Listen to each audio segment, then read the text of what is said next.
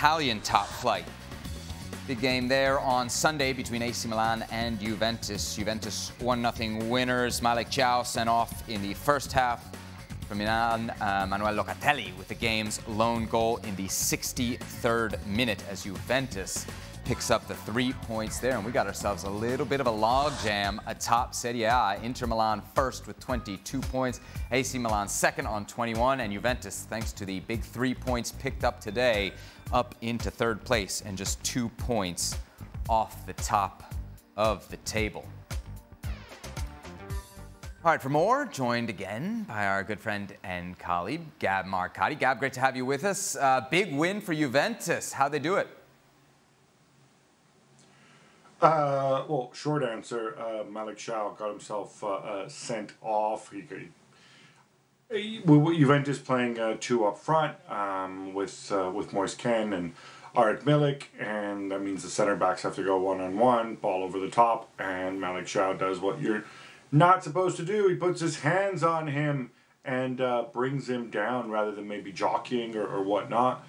And Milan, I think, had certainly started brighter, uh, had created better chances earlier. And, you know, you go down to 10 men in the first half, eventually, um, Juve are going to find a way to grind you down, although, mind you, a bit fortunate perhaps with that Manuel Locatelli uh, uh, shot, which was, uh, which was deflected uh, past the goalkeeper Mirante. But how about a stat for you, Seb? Uh, it's October 22nd and, and uh, Locatelli scores in a 1 0 win for Juventus over Milan, uh, which is exactly what he did seven years ago, also on October 22nd, also in a Milan Juve game, except back then he was playing for Milan. Uh, what a coincidence. What a coincidence. Uh, Gab, I got to ask you about the American perspective here. Of course, we had uh, four American players between these two teams Tim Weah, Weston McKennie with Juventus, Yunus Musah, and Christian Pulisic for AC Milan. Pulisic, obviously, very disappointing, Gab. He came off uh, in the first half. What'd you make overall of the American performance? And I wonder how much of this was discussed kind of during the week in Italy, because I would have thought it was mostly an American story, but I saw some of the Italian papers were interviewing Greg Berhalter in the lead up to this match. Uh, why wouldn't they? He's got four of his guys there. Um, like Pulisic had to come off because you know uh, after after Thiaw came off um, or, or, or, was sent off, Pioli had no choice but obviously send on uh, uh, Kalulu, and obviously in those situations, you take off a winger and you're not going to take off Leao. Um, so I think he gets a pass.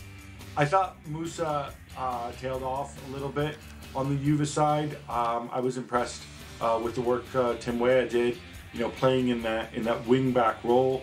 Uh, and McKennie, of course, also did his job in, in, in midfield. I mean, like this is Juve ultimately. They were away from home. They knew that eventually they're going to wear Milan out um, when, when you play so long with a man advantage. So I, it, it, wasn't necessarily a great game or a spectacular game. It was certainly much better, I thought, at 11 v 11.